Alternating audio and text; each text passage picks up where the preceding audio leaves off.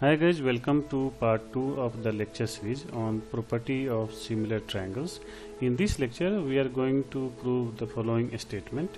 The lengths of corresponding medians of similar triangles have same ratio as the lengths of any pair of corresponding sides. Let A, B, C and PQR, are two similar triangles and AD and PS are their medians then we have to prove that ratio of AB and PQ is same as ratio of AD and PS. Again we will start column wise proof which is as follows.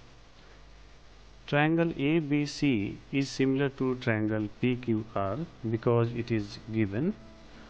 Also half of BC is equal to BD and half of QR is equal to QS because AD and PS are medians from vertex A and P of triangle ABC and triangle PQR.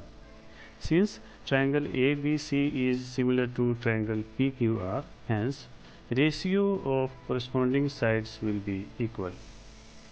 On dividing numerator and denominator of right hand side of above equation by 2, we get AB over PQ equals BD over QS from statement 2.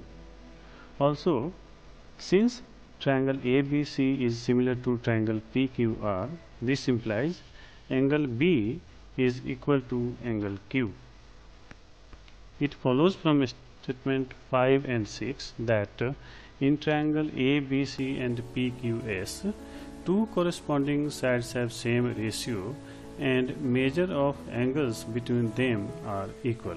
Hence, by SAS principle, triangle ABD and triangle PQS are similar to each other. This implies their corresponding sides will be proportional to each other. Hence, AB over PQ is equal to AD over PS. This proves our statement. So by end of this we have finished this lecture.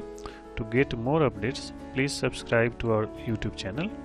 You can share this video to other person and provide your valuable feedback in the comment box. If you enjoyed watching this lecture please click on like button to motivate us. Thanks for watching and I am looking forward to see you in the next lecture.